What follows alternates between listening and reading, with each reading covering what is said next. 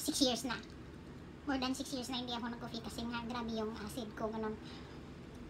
Non-stop yung burp ko niyan. Parang, kasi man, pero 3 days ago, nag, nag-try ako nag, nag-coffee na naman. Nag-coffee ako. Say lang. Kasi pag maubos niyan, ay, ayoko muna mag-coffee. Bumili lang ako, nag-try na ako. Kaya, sarap yung feeling na mag-coffee tayo minsan. So, pag maubos yung binili ko, ayoko muna mag-coffee. Kasi hindi masama. Hindi, hindi maganda. Especially pag acidic ka.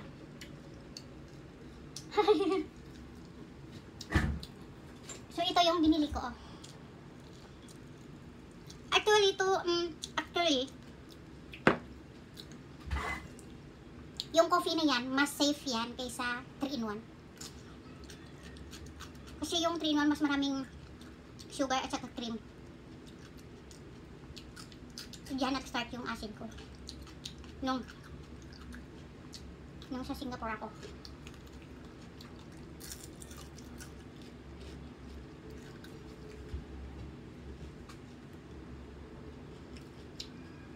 So, so yung nilalagay ko lang sa coffee ko is ano, coffee at saka condensed milk.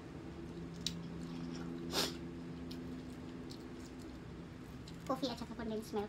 Tapos medyo ah, mas marami siyang coffee na medyo maala. Anong ma? Anong coffee? Basta marami siyang coffee tapos hindi masyadong maraming condensed milk. Sarap. Yung mas matapang yung coffee.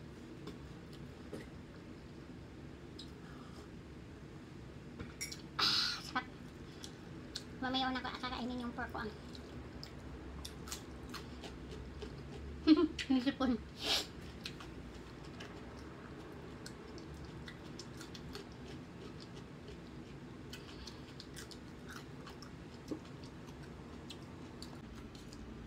Dumilim kasi yung video ko eh. Kasi kinat ko kasi 13 minutes na. So may part 2 tayo ah. May part 2 tayo na video. Hanggang ma matapos ko yung pagkain ko.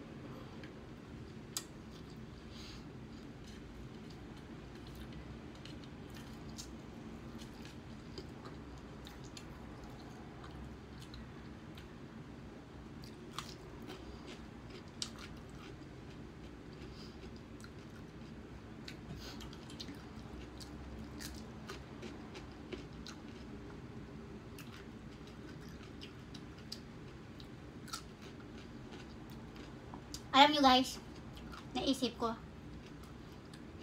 lahat ng bagay pag sobra is hindi na tama. Mm pag sobra siya. Kunwari, sa pagkain. Kunwari sa tuyo, no? Pag sobra itong blood ka rin to. Kasi ito rin yung ah, isa sa na-going hypertension ako sa ano sa tuyo kasi napatumatch ako ng tuyo tapos may ano pa may ano ba tawag mm, patumatch ako sa tuyo at saka sa ginamos. Bagoong. Yun. Pag sobra hindi maganda abuso sa katawan. At saka ganun rin sa pag-ibig pag sobra-sobra mong mahal yung isang tao, nakamamatay. Mm-mm, yun talaga yun. Love too much can kill you. O, diba? Alam niyo yun. Totoo yun. Kaya, dahan-dahan lang ka. Ganun rin sa pag-inom. Pag siyempre, pag lulong ka, pag sobrang lasing ka, hindi mo na alam yung ginagawa mo, di ba? So, ganun rin yun. Kaya drink moderately lang. Speaking of drink moderately. yung tiger ko kagabi hindi ko pala naubos.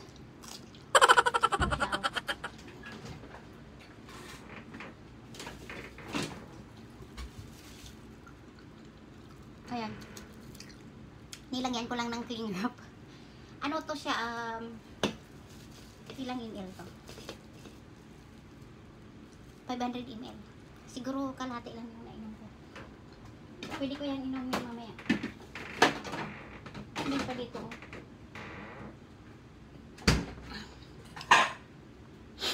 At 12% lang yan, ano na, yung alcohol. Busog kasi ako kagabi. Hindi ko na kayanin. Busog na ko. Busin ko na lang itong kanin ko. ah.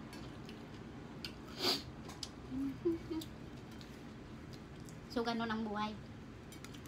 Dapat we live moderately lang. Not too much. It's abusing. Abusing. Abusing. Diba? Napa-English tayo dito. ang init, grabe. Iba yung init dito sa Hong. Ang lagkit.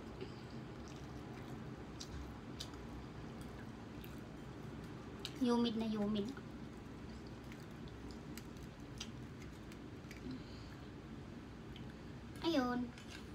Na. So, mamaya ko na lang kainin yung yung iba. Ulamin ko na lang yan mamaya.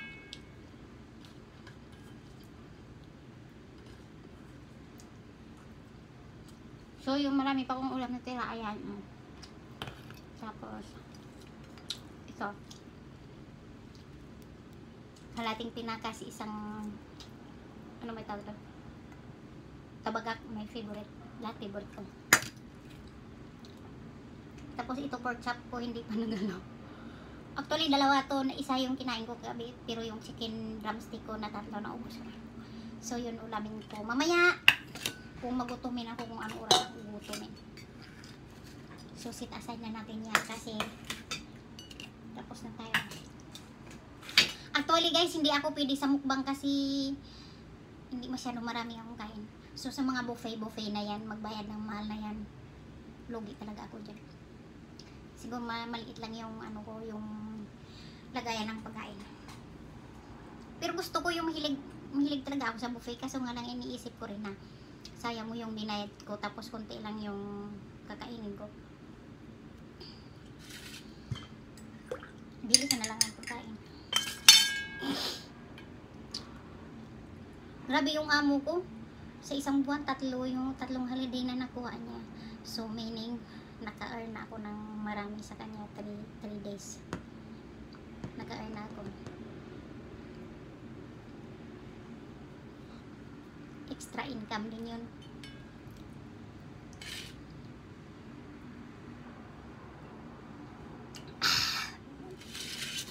Ay, ano pala?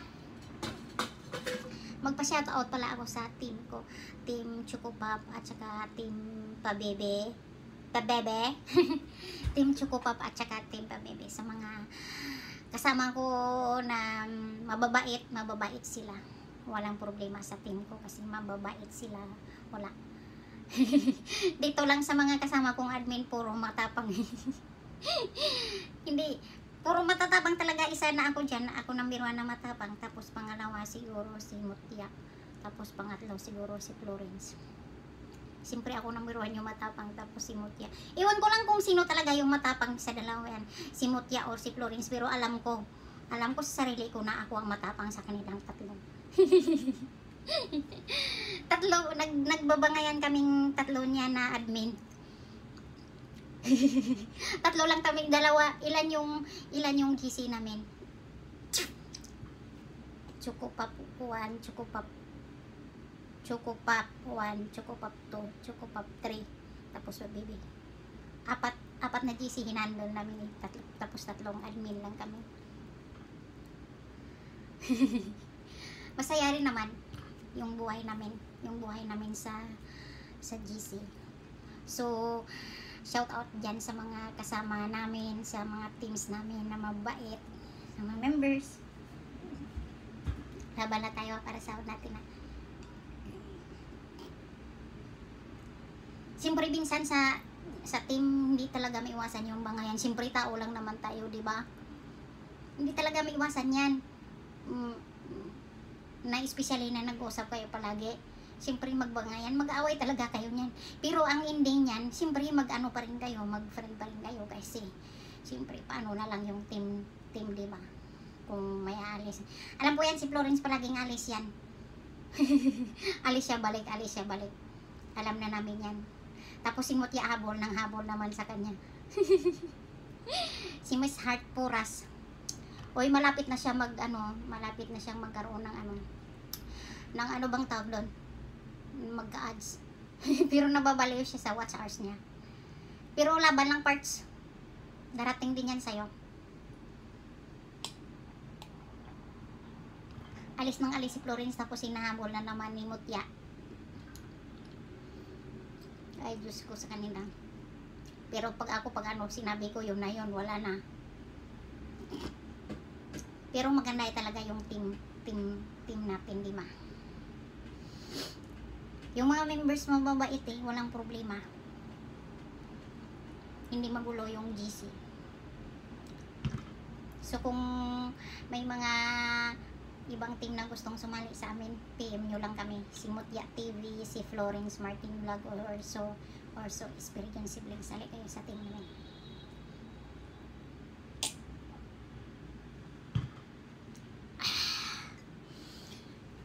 Ah, sobrang busog na ako.